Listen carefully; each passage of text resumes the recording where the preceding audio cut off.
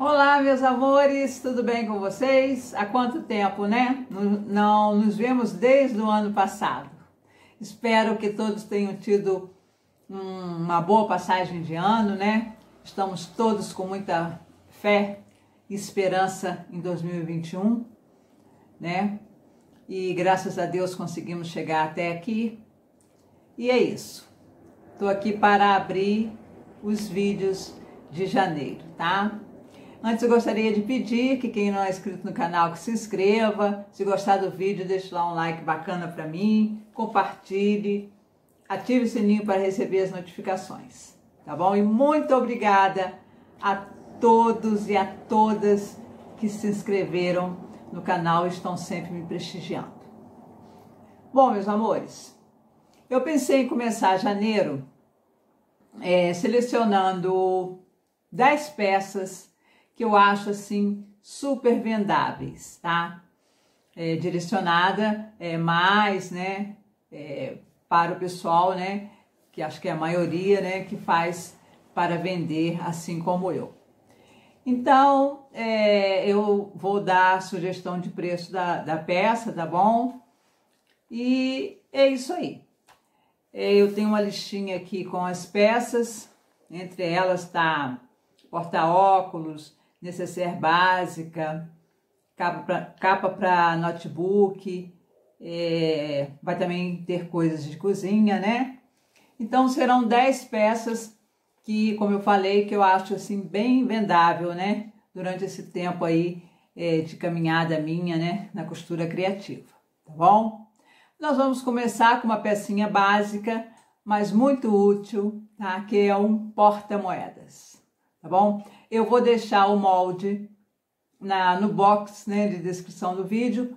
Quem não puder imprimir, eu vou deixar com as medidas, né? Não tem mistério nenhum, é só construir o moldezinho. É muito simples. Então vamos lá para a aula.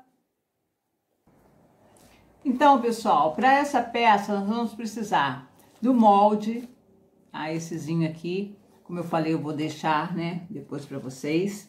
Viés, uma estruturazinha, vou usar o nylon dublado, mas pode ser a manta R1 também, tá? Que dá certo. Nós vamos precisar de quatro tecidinhos, tá? Aqui eu vou usar esse aqui como forro e essezinho como tecido principal. Porque a gente vai trabalhar dentro dessa medida aqui, que é 10 aqui na largura, por 22 aqui no, na altura, tá? Esse também, os quatro, a mesma medida, tá? E também a mesma medida aqui na estrutura. Bom, primeiro vamos fazer o, o, o lado de dentro da peça. Aqui, ó, coloquei direito com direito do forro.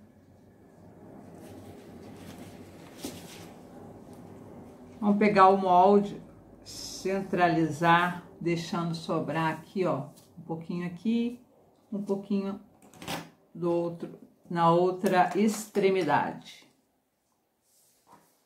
Aqui também. E vamos riscar essa abertura aqui. Tá?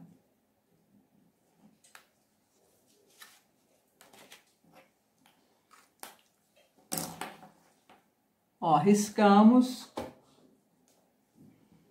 Coloca, né, os nossos amigos alfinetes. E vamos passar a máquina aqui em volta, tá? Uma dica, usa o ponto pequenininho, assim, tipo um e meio, dois, que fica melhor para fazer as curvas, ok? Então, meus amores, está aqui, ó.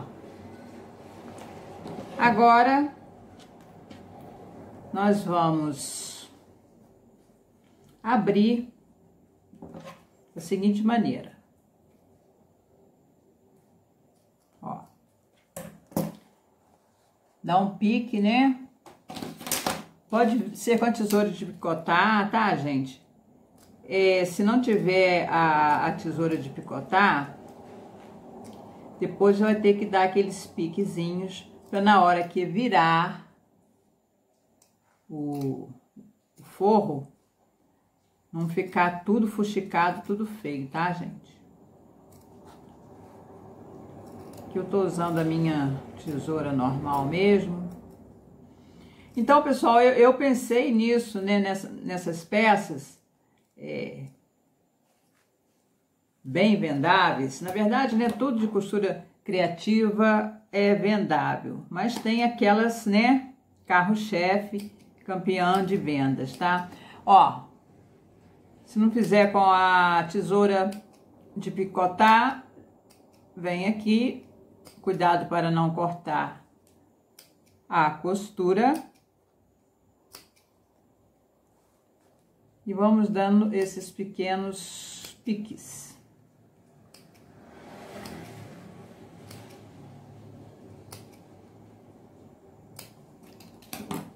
Bom, feito isso, vai jogar cá pra dentro, ó. Pra dentro, pro outro lado, né? O tecido aqui, que eu determinei que vai ser o forro, né? E a gente vai ajeitando, ajeitando ele por aqui.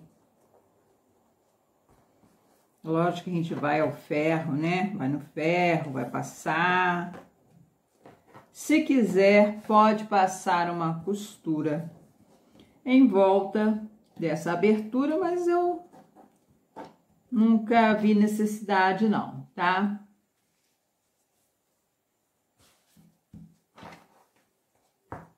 Então, gente, olha, vai ficar assim, tá? Depois eu vou passar, logicamente, para ficar bem direitinho. Agora vamos reservar e vamos para a outra parte com a estrutura. Então, nós vamos pegar tecido principal, a estrutura aqui no meio,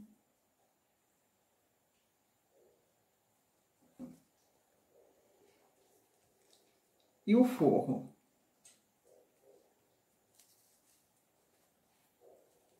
Nós vamos fazer esse sanduíche. Sendo que aqui eu, antes de colocar esse forro, eu vou fazer uma telacêzinho aqui, tá? Porque eu acho que a peça, né, ela vai ficar mais valorizada, tá bom? Para depois colocar o forro e a gente prosseguir na peça. Bom, prosseguindo. Ó, já fiz aqui, fiz em, com esses, essas formas geométricas aqui, tá? Poderia fazer junto com forro? Poderia. Mas eu fiz assim porque é, quem não tem muita prática numa tela C ou, né, em fazer umas costuras assim, tipo um quilt, né? Não, não tem prática. Quando vai fazer com os dois tecidos junto, o que acontece? O de dentro fica todo fuxicado, né? Às vezes fica, acaba saindo do lugar, enfim. Então, para quem não tem a prática, faz primeiro, é, faz só do lado de fora, por exemplo, né? que já fica, é, já agrega valor à peça, né? E o forrinho fica sem o matelacê, tá? Agora, assim, antes de mostrar, olha, depois que eu passei, ó, fui no ferro, passei, então ficou tudo joinha, joinha. Agora nós vamos pegar essa parte principal com o forrinho. Gente, isso aqui aproveita muito pedacinho de pano, dá para fazer cada um mais lindo do que o outro. Isso vou colocar até uma, alcinha. Falando isso, toda alcinha minha, geralmente depois de pronta, ela fica com tudo para bolsinhas pequenas, coisinhas pequenas. Eu uso assim, ó, de 1,5 a 2 centímetros, tá?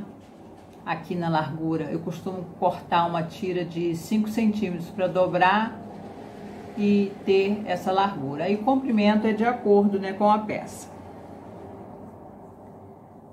Agora, nós vamos alfinetar o forro com o tecido de fora.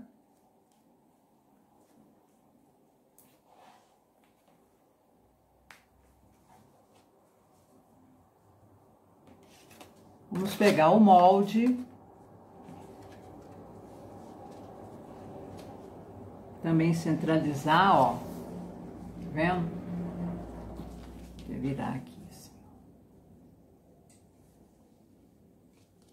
E com giz ou com a canetinha fantasma, nossa querida amiga, vamos riscar exatamente, tirar esse alfinete que atrapalhou, exatamente no tamanho do molde, tá, gente? Que não precisa ter sobra, não. Ui. Se eu coloco o alfinete.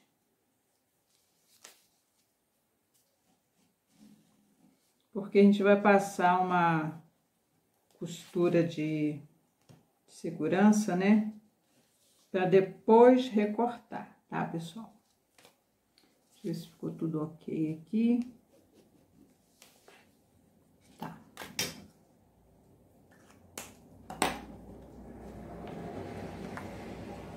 Ó.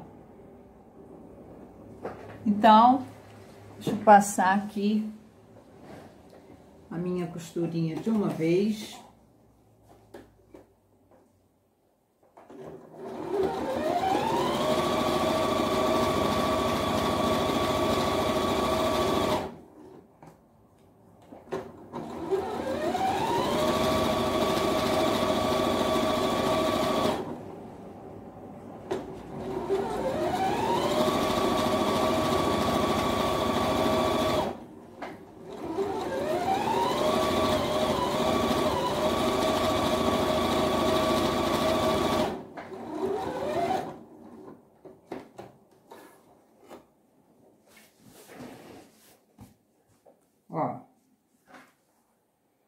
Você tem com a linha vermelha para visualizar melhor. E agora nós vamos cortar. Aqui pode ser bem rente, tá? Na costura, tá, gente? Porque não vai precisar da pique, não. Ok? Só não corta a costurinha de segurança, tá? Hoje eu tava fazendo uma pecinha piloto dessa aqui, cortei. Então, pá.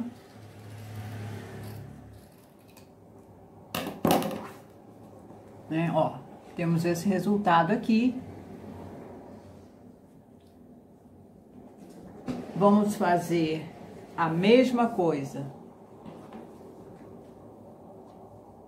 na parte de trás. Aí aqui, gente, olha, vocês vão fazer de acordo aqui com a abertura, tá? Colocar o molde assim. Ó.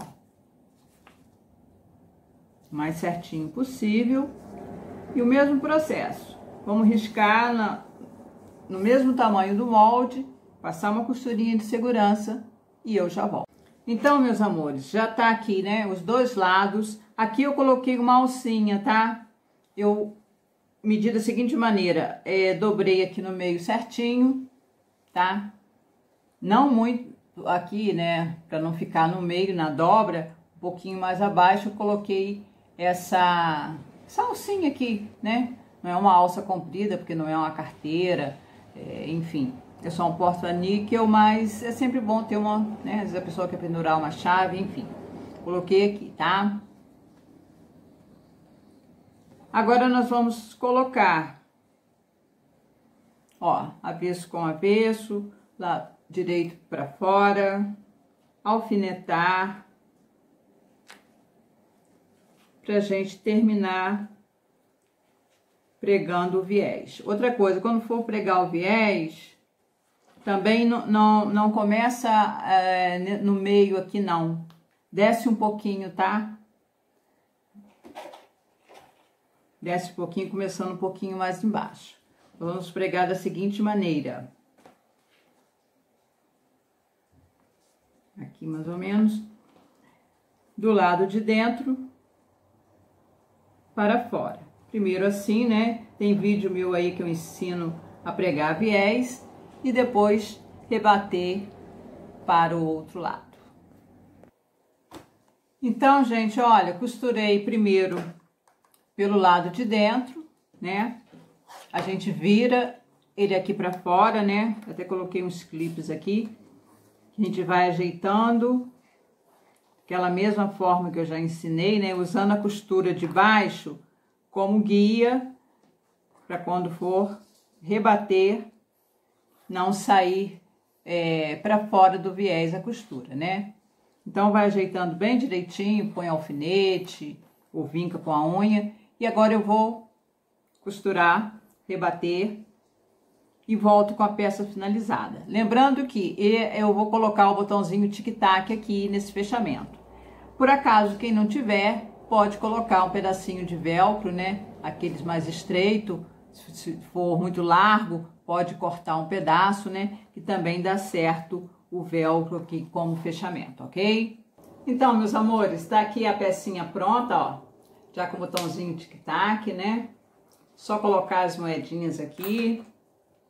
Não cai, porque vai ficar fechadinho, né? Essa abertura aqui vai ficar fechadinha e não vai cair as moedas. Esse aqui, olha, que eu fiz, foi o primeiro que eu fiz, ele ficou um pouco maior, tá? Ó. Quem quiser aumentar as medidas do molde, né, 2 centímetros, vai ficar nesse tamanho aqui, tá? Se não, faz o pequenininho assim. Sugestão de preço de venda, 15 reais, tá bom? Então é isso. Esse foi o nosso primeiro vídeo é, de janeiro, né? Com as peças, com peças bem vendáveis, né? Peças da costura criativa. Espero que vocês tenham gostado logo desse primeiro vídeo.